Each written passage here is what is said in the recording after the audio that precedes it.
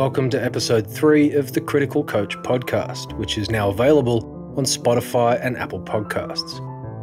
In this episode, I'll review Daniel Coyle's book, The Talent Code, published in 2010. Any links referenced in the podcast are in the episode's description.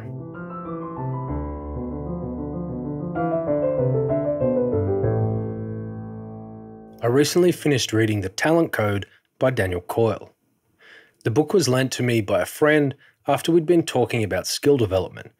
I had no idea who Daniel Coyle was and no particular knowledge of the book itself. The title sounded vaguely familiar, but that was it. So, what's it all about, and is it any good? The book's central premise is made clear in its subtitle Greatness isn't born, it's grown. To substantiate that claim, Coyle looks at several factors myelin and deep practice, talent hotbeds, and coaching. Coyle gushes about myelin from cover to cover, but what is it?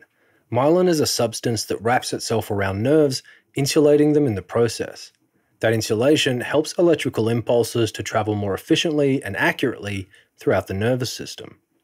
In order to increase layers of myelin, the neural circuits they insulate need to be used, i.e., practice must occur. More practice means more myelin, which means more efficient execution of the relevant circuit. The idea that practice improves performance is unremarkable, but that's not what Coyle's writing about. Instead, he focuses on what he calls deep practice, a collection of methods that optimize myelin production. I won't list them all here, but I will address them in a subsequent article on deep practice and its relevance to strength and conditioning. Next up are talent hotbeds, places with an outsized quantity of success stories. There's several mentioned within the book, but they're all getting at the same point talent hotbeds maintain long term engagement while enabling the methods of deep practice. Finally, we come to great coaching, which falls under the same banner as talent hotbeds. They facilitate long term engagement while using the methods of deep practice. At face value, it's fair to assume that most, if not all, of those claims are uncontroversial, and for the most part, that's true. But let's revisit the talent code's central premise. Although worded differently, Coyle's premise is that nurture trumps nature. If nurture is handled appropriately, greatness can be achieved by anyone, anywhere. It's an incredibly appealing idea that suggests we are the masters of our own fate, and that with sufficient time, effort, and appropriate training, we can do anything. There's only one problem it's not true. Coyle's premise is as old as Aristotle and commonly known as tabula rasa or the blank slate. Blank slate theory assumes that we are all born equal and who we become is solely the result of environmental factors. However, the discovery of heritable and familial genetic traits annihilates the blank slate concept. The truth between nature and nurture lies somewhere in the middle. Genetics loads the gun, environment pulls the trigger.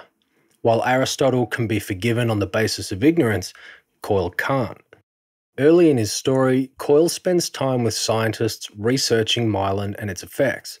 Furthermore, the latter part of the book includes multiple references to peer reviewed scholarship. As a result, Coyle effectively shoots his only defense, that of ignorance, in the foot.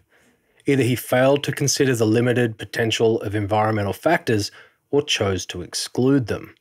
And I'm leaning towards the latter, as it would make his book and its claims far less spectacular and more difficult to market. Saying greatness might be born or grown, or a bit of both, it depends. Doesn't have the same effect, does it? That's not to say that myelin or deep practice don't matter. They do, a lot. But Coyle leaves himself no wiggle room and deceives the reader through sins of omission.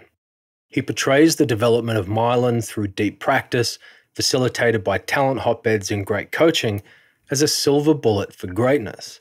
In myelin, Coyle has found a hammer and proceeds to treat everything as a nail. Now, is there any evidence that there's more to greatness than myelin? Yes. In the episode's description, there's a link to Bill James' spectacular article about why birth month matters in Major League Baseball. But what about other pursuits like powerlifting? Again, yes. Tom Purvis has a great pair of videos explaining how chest thickness affects depth in the bench press, links in the description. A myelin deep practice, talent fostering environments, and great coaching relevant to achievement. Absolutely. But they're by no means a silver bullet.